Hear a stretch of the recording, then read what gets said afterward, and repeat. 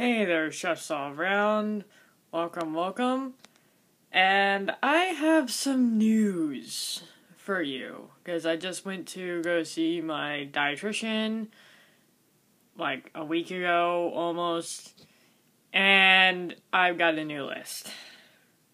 They changed my list again. This is like the what third time they changed my list. Remember that one video, the very first video and the only video so far on channel that that I talk about or slash mention my galactosemia metabolic disorder. Well, they changed the list.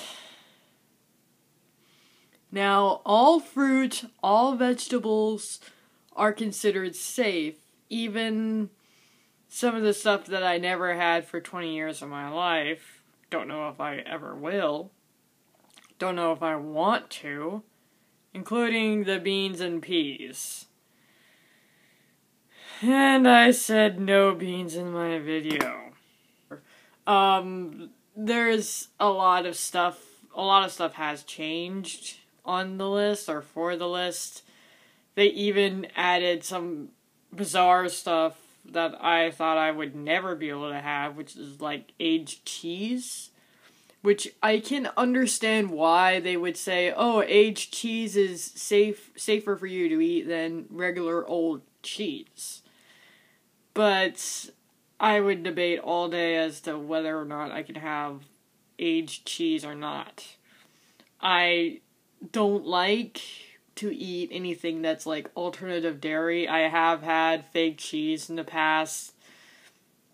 Long story, my mom, not my mom, but it was my friend's mom.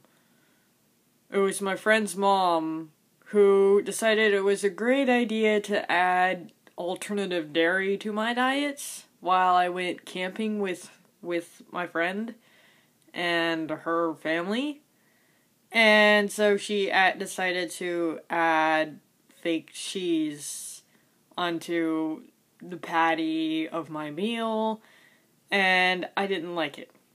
It tasted like if you would if you would basically grab a yellow construction paper, cut it like it's cheese, and eat it. That's basically what it was. It was just yellow. It was just yellow square. That's all I can describe it for you.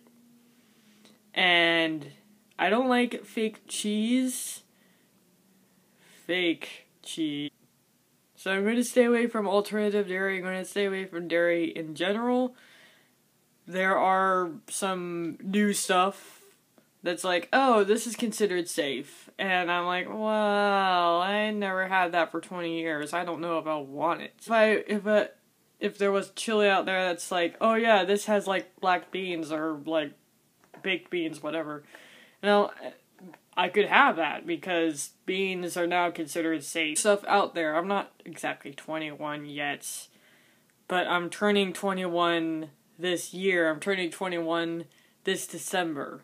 I mean, I just turned 20 like two months ago, but I, I'm turning 21 this year.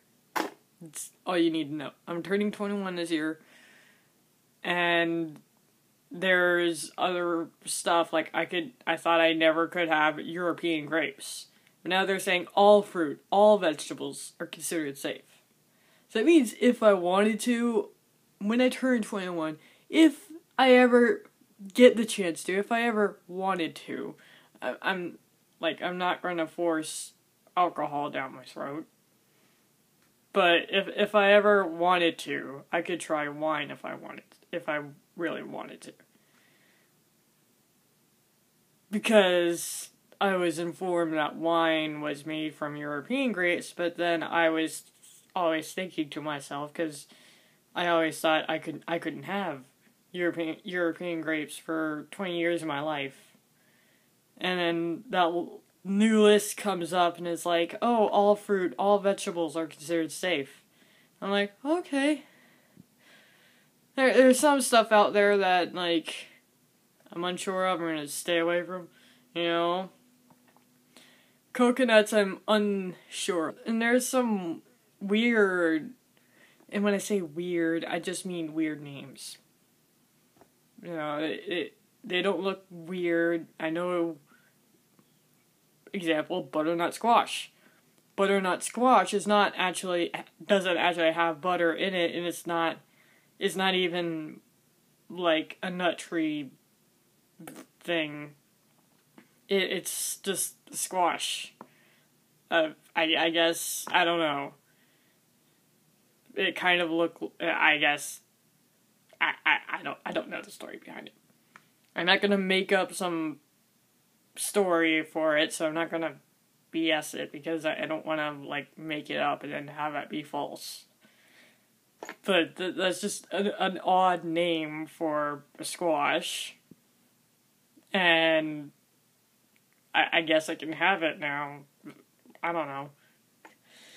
I just wanted to inform the channel that hey, this is considered safe now, even though if I if it's something that I may never want to try, may never want to come across. It's like they're considered safe now.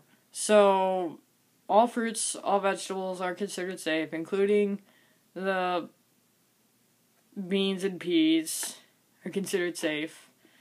There are some things on the list that is considered safe that I may never try, like the aged cheese. I can understand why, like the reasoning why they say aged cheese you can have, but not just regular old cheese. I can understand that. But because of my allergy, because of my complexity of my allergy, and because of how complicated I can be as a person because of because of my allergy, I'm deciding or I'm choosing to avoid that. Just because I'm complicated like that.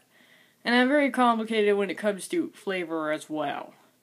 There's some things out there that I might not try. I might never try coconut, even though coconut is proven to be safe.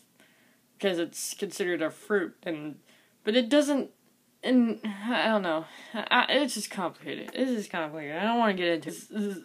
the way my my brain my brain works. Sometimes, sometimes I I think too much about other stuff, and then that gets kind of in the mesh of everything, and then causes me to rethink back and then go, wait a minute, no, I I shouldn't have this because da da da da da, and it just gets messy.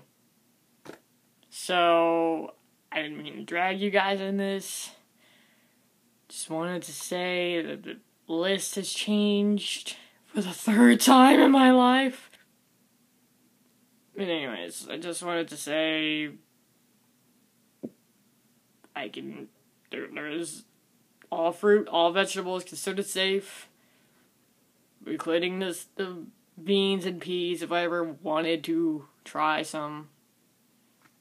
I, I might never try some because I never had them in 20 years of my life. I might. I don't know.